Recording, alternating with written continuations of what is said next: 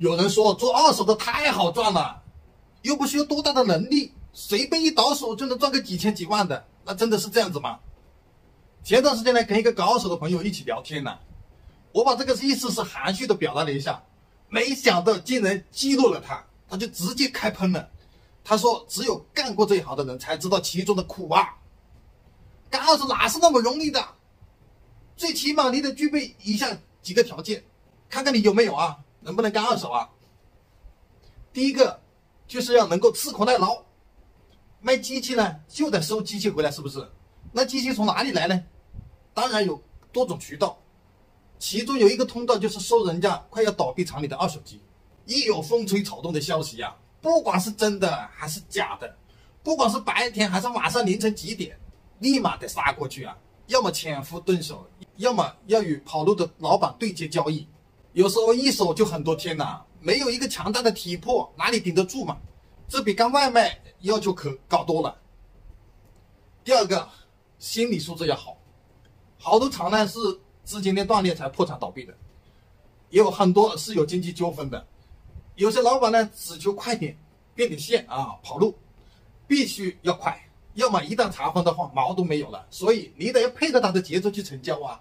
完了之后，趁夜深人静，村委法院还没上班啊，就得把机子拉走。这个呢，有点像虎口夺食啊，搞不好有被抓被打的可能，偷偷摸摸的像做贼似的。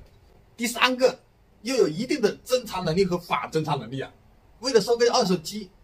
各有各的小圈子啊，各有各的仓库，一帮一帮的，这帮人去了哪里？只要这一帮人发个朋友圈，那一帮人呢就会根据他的文字、图片、视频开始研究分析这帮人去了哪里。但凡有一点机会啊，都会跑过去抢夺一番。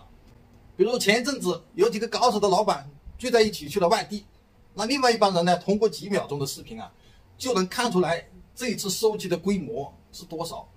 在什么地方还有没有机会等等之类的。第四个要笑里藏刀啊！大家都在二手圈子里头，低头不见抬头见呢。明面上大家关系挺好，哎，和谐融洽，兄弟长兄弟短的。一旦碰上了收机和卖机是同一个客户的时候，立马开始了尔虞我诈啊，拼个你死我活的。你一万，我我八千，我六千还不行吗？那真可谓是白刀子进是红豆之处啊！第五个，你也有应变能力。简单的说吧，就是看客户下菜了。客户懂得多一点，那你就要少一点；客户毛都不懂一，你就吹大一点，搞多一点。第六个就是有喝的能力了。别告诉我你不会喝啊，那单你也别签了。好不容易约个客户过来看机，完了之后你不请人家吃吃个饭吗？吃饭你不喝一点，表示一下诚意吗？这个动作有时候是成交的关键所在。以上六点呢是做二手的基本要求了，你说容不容易嘛？你的条件能不能搞二手嘛？这个钱好不好赚嘛？比卖新机是不是好赚一点呢？你细品。